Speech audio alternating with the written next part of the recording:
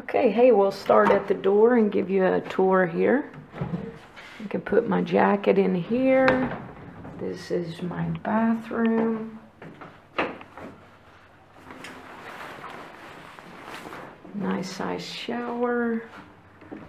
I love all this room because I've been doing exercises. And so I've already moved the sofa and the chair, and I'll show you why. This is one of my bedrooms, so I'm putting all my stuff in that one, and I'm actually going to live in this one.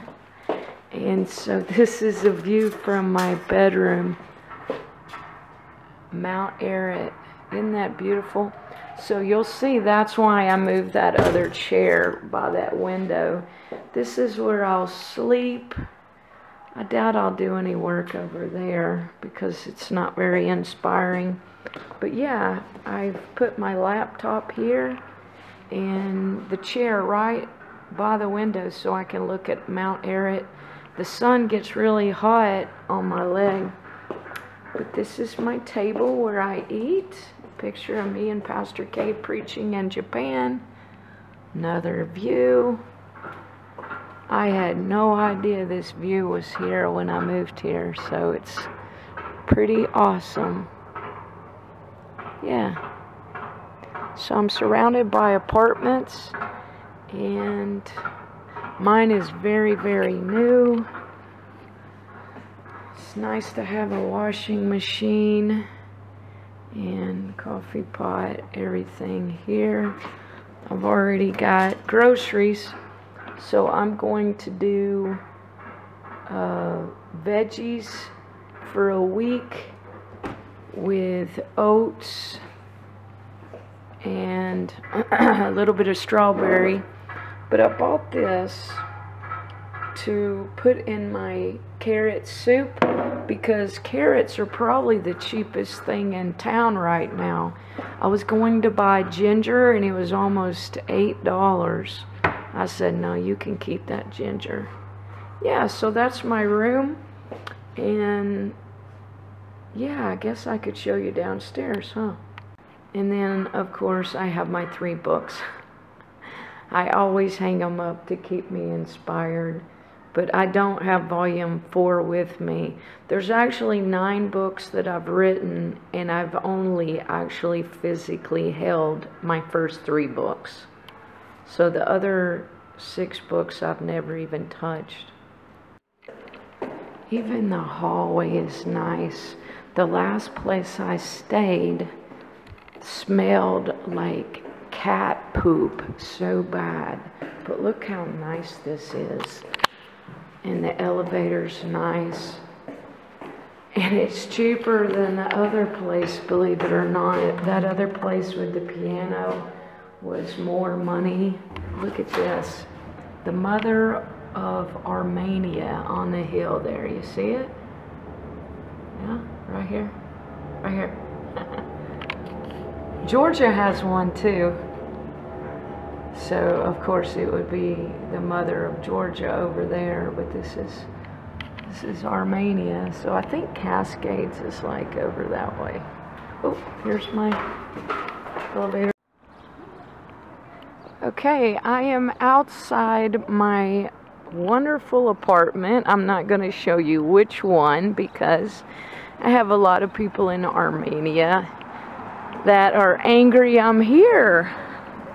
So it would not be wise for me to say which place I live. But check this out. Look at this. Now, there is a guy over a few streets over that his coffee shop is open. And for anybody that knows, knows I want to start a small coffee shop. This is awesome because I come from Chattanooga, Tennessee, and we're known for um, the choo choo train. So imagine this right here but turned into a Dutch wooden shoe. That's kind of more the theme that I'm going for is a Dutch wooden shoe. And so you've got two coffee shops right next door to each other. Both of these are closed, but the other guy, like I said, is open. And you got chess out here, some kind of spider for some reason. And then you got another cafe here.